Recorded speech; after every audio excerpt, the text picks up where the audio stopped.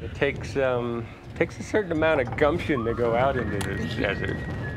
But to go on horseback, exposing yourself to all of the elements that can happen in October is pretty gutsy.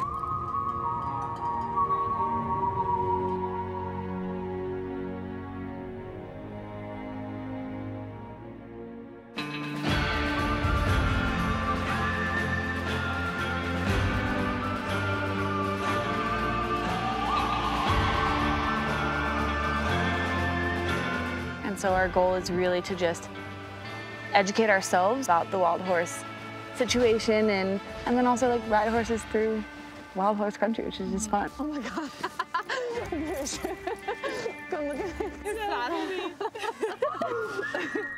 I think there's a lot of people that don't know there is a wild horse crisis.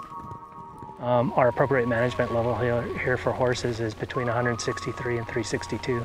We anticipate there, estimate there's almost 900 horses here. I am a horse advocate. I love horses. And it's almost common sense to me about management.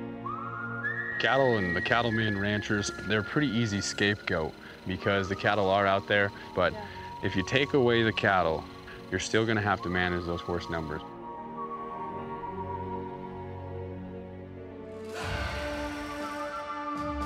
Honestly, I feel like this problem is way bigger than just horses.